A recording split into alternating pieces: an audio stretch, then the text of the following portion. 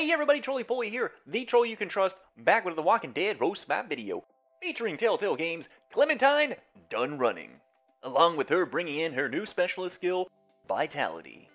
Clementine making her appearance into the 6-star scene, I had a feeling a red tank survivor with a new defensive skill was coming as soon as we recently had the blue Conrad released, so if you ended up getting him, you are in good shape, for now and in the future, I believe. If you are interested in a red or ranged only team, then Clementine can fit anywhere in your roster. Clementine is showing the world she can survive on her own with her new specialist skill, Vitality. At the start of each turn, Clementine will get health based on the amount of unspent adrenaline rush she has. To my understanding, unspent adrenaline rush means it's based on how much AP you have. if you have unspent money, then you still own that money, and you can't really gauge spent adrenaline rush for a character based on something that happens at the beginning of a character's turn. so after a barrage of damage, she can heal some of that damage back based on how much AP she has. If you run a bonus health team with her, she can be very useful especially if she gets hit by a bunch of damage and then gets bonus health to buy her enough time to self-heal it back up. Granted, you also put crowd control to help your team as well. She also adds a little bit of a counter to some of those bleed and burn comps, as she will get healed at the start of her turn, and then at the end of the turn, the bleed and burns then proc. Her adrenaline rush is not to be taken lightly, as it will MC Shatter Pants all over your team, and you may not be able to recover from it if you don't prep any type of focus related skill prior. If you normally go up against a range or red only teams, you would, if I had to guess, probably would expect stun and impair based weapons, and confuse for the occasional Michonne. But taunt. I am not sure too many people are prepared for this, as when she pops her adrenaline rush off and taunts too, there is a better chance out of those two turns she will stun somebody. Bonus health from her adrenaline rush is always a good thing to have when running stun and impair weapons, as they can have a great impact before the enemy even starts hitting away at your actual health bar, which matters. I see the pain split as in case she taunts two blues with double attack weapons, it lowers the chance of getting pooped on. Her active is Taunt and AP Gain. She will taunt one enemy for two turns, which is half of her CC that comes from her Adrenaline Rush. The double effect from active skill is nice nowadays and allows to create an opening versus certain enemy team comps. Such as if you don't have a disarm, or your disarm just isn't critting at all during the fight, the enemy is jam-packed full of special defense weapon mods, such as stun and impair when being attacked. Basically, if you have no current move to make, that can give you certainty to come out on top for that turn. Such as, you don't want to risk basic attacking with Clem to get herself stunned versus a red or impaired versus a blue. Or you can use her active to get 19 AP, which is basically one basic attack with no AP gain on her weapon. So, if you don't put AP when attacking on her weapon, then I would be using her active whenever possible. Because as soon as you taunt somebody, they attack her and then they can be stunned, allowing you to bypass any special weapon mods, giving you an opening to smash the other team. She comes with a god tier weapon with 30% defense, medium bonus to AP, and a better chance to stun when being attacked. Oh yeah, you still have three more crafts to do. so be prepared to enjoy this character, as I do see two main avenues with her weapon. You could go full tilt on her defense, giving you a 45% defense, and combine her with a defense and HP leader, allowing you to shove it right back up those blue attack teams. We would keep the medium bonus to AP when taking damage because let's say Clementine gets Barrage turn 1. Also, having a 45% defense weapon with a 40% HP and defense lead should create enough defense to prevent her from dying turn 1. And the bonus AP when taking damage should be enough for her to pop an AR off for them trying to take her out. And if they failed to take her out, she will heal a little bit of HP backup with Vitality. Her stats, I feel, should be all focused on her defense. As being a red survivor, you have to be very careful with blue damage dealing survivors with double attack weapons. And of course, she is labeled as a tank, so putting anything in her offense probably wouldn't be the best route to take. Looking at the tank roles for Reds, we can see only the Governor has taunts in his Adrenaline Rush, but only for one turn. If you have a Red with a stun when being attacked, Taunt is a pretty nice feature to have. While Negative Attack and Confuse are given from the other red tanks, Confuse Resist combat mods are starting to slowly be gained by more and more people, making it show up more often due to something like, uh, oh, I don't know, maybe Shiva? The negative attack can be removed, and the enemy survivors can start pounding away at your team.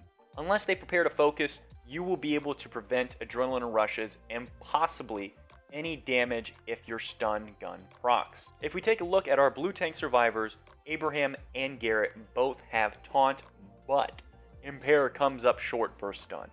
Although Impair is nice when resistances are not as abundant to it, let's jump into the team comp section where we will also show weapon modifications and combat mods. First defense team we have here is an Erica lead, and we will be using this as a timeout team. There is no kill potential with this team, and seeing as blue is our kryptonite, and they wield double attack blue weapons with a free to play Tyrese for decaps, we take full fledged defense approach. Magna should buy you the first turn, allowing you to not worry too much about AP when attacking, giving you the ability to stack her with defense for when Magna is shut down. We have Command Sadiq to allow a one turn early AR for our Erica, Clem, and Mackenzie. If anything, give Mackenzie the AP when attacking and have her pop her Adrenaline Rush off first, as she will do more wonders with healing and removing any crowd control, giving your opponent an oh moment. Any damage Clem may have taken throughout this process will be healed up with her specialist skill 2, which is a nice defensive feature combined with all the other skill sets with this team. If I had this team, I would probably put all three crafts into her defense to make sure a double attack weapon proc hits as less as possible. And by doing this, we'll make a double attack, a double chance of procking her weapon stun. If Clem survives a barrage, as double attack weapons have no crowd control, she will be able to fire back her AR with the AP when taking damage weapon mod. Combat mods are pure defensive, baby. Defense set mainly due to having her capabilities to getting a 45% defense weapon and a 40% defense leader is just screaming, Put defense combat mods on me and make it a defense set. We go defense first blue as they will apply the most pressure towards us. Stun resist, so even if she happens to be impaired, she can use her active, and if she is confused, she will still gain AP. So not a complete loss here. But we bring Mackenzie to make sure we can deal with all that stupid crowd control to allow Clementine to have free reign on her enemies. Graze just for the double attack and end it all with the health combat mod for our wild card slot. Our first attack team with Clementine we will use her to help slaughter some melee toons. Granted, taunting green survivors with stun weapons may not be in our best interest, as that is pretty much the roll of a dice. But that is the reason two out of our three damage dealers here are red. Two of them are red mainly to eliminate the greens from the picture to allow Clementine to taunt any yellows to put it up their pooper and stun them. Lewis gives you turn 2 pressure as he can use his Adrenaline Rush, in which you can kill one or two greens, slowly removing any sort of stun weapons from the picture early. Turn 3, you have Madison, Clementine, and Shiva at your disposal to bleed, taunt, confuse, burst damage them down. You have options here, which is the goal you want, as that lets you know you are making very flexible and synergetic teams. In case Clementine does get some heavy focus, her Vitality Specialist skill will come in handy when you are attacking as there are as there may be times you will be stunned and impaired and your last hope of surviving is either from another teammate or her specialist skill, Vitality. Her weapon we changed it up slightly from before as here we will craft 2 in her defense, giving it 40% defense and an AP when attacking as I feel this will benefit her more and your team more with the bonus HP and pain split. As we don't have blues on this team, so if we were to face an all melee team, the no trait disadvantages are towards us. Her choice of combat mods here is the same as the defensive team in terms of the HP, defense mod, and the combat mod set being defense. The two changes here for her on attack is we don't need to have defense versus blue, as we're going to be going after melee teams with the Madison leader. An attack versus green, even though her attack stat is not that high, but she will still have the trait advantage so let's put out as much pressure as we can on offense.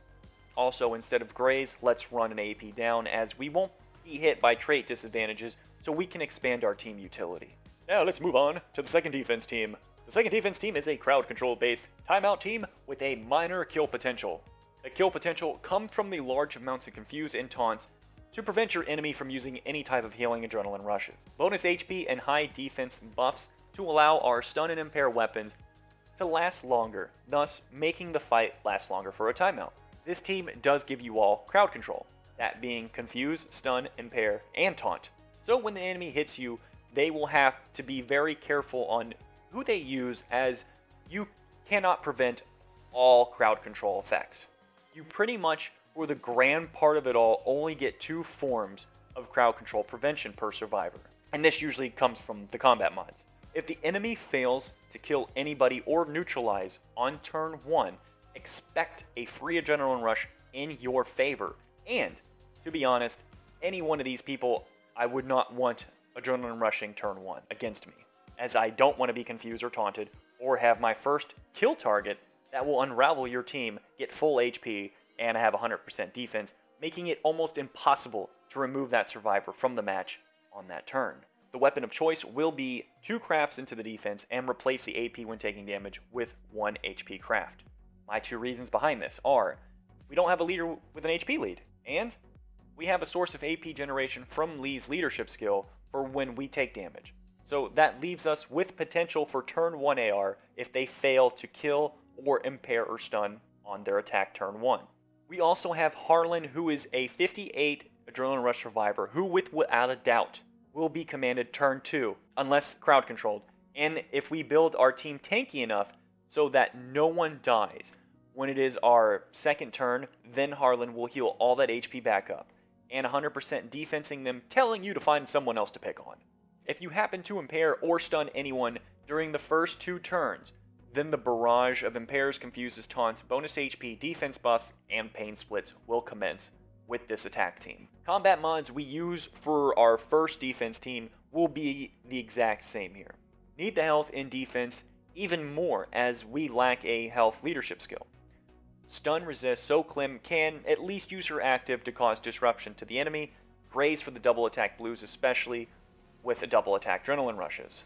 Here is the last tag team, which will be mainly focused on free to play, as you just got lucky and pulled Clementine. So let's take a look at this. You happen to pull for Clem as someone who has a mainly free to play roster, we can take this approach for an attack team. Mirabelle leader as we are on the offensive, so we will be bringing some damage dealers, which have high HP and attack base stats, so we choose Mirabelle for this reason on scaling. We bring in Wander, for heavy green red comps. And we'll have Mirabelle, Clementine, and Dwight Adrenaline Rush after the Wander's Adrenaline Rush, as the Wander will lower defenses, making quick work of greens and reds.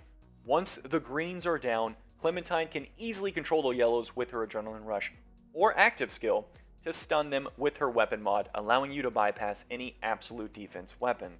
Weapon of choice will be 2 in defense and 1 for AP when attacking. We don't have a 58 Adrenaline Rush Survivor here, as there isn't a 58 AR free-to-play damage dealer yet. So, 66 is the best we can do. Since we don't have a 58 Adrenaline Rush Survivor, we have three people with crowd control actives, such as Clem's Taunt, Dwight's Impair, and Sadiq's Confuse, four turn 2 options to disrupt the enemy team, allowing for damage control and turn 3 all over the enemy team.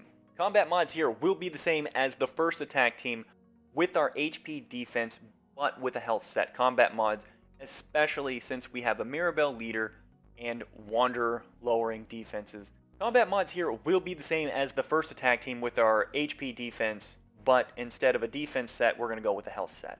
Since we run a Mirabelle leader and we bring Wanderer to lower defenses, we will then bring an attack first screen combat mod to apply even more pressure the AP down combat mod as there is a good chance your team will impair and stun the enemy, so let's make sure every impair and stunned enemy suffers from zero AP syndrome. There you have it everybody! That is a survivor spotlight of Clementine's done running. Are you all going to pull for her? Do you see any uses for her in your roster? If so, let the team comps rip in the comments section down below! Thank you all for watching. If you enjoyed the video and made you laugh before you do anything positive, please give a nice karate chop that like and subscribe button. And make sure you leave a comment down below. The support's greatly appreciated. And other than that, I'll catch you all in the next video. Bye bye.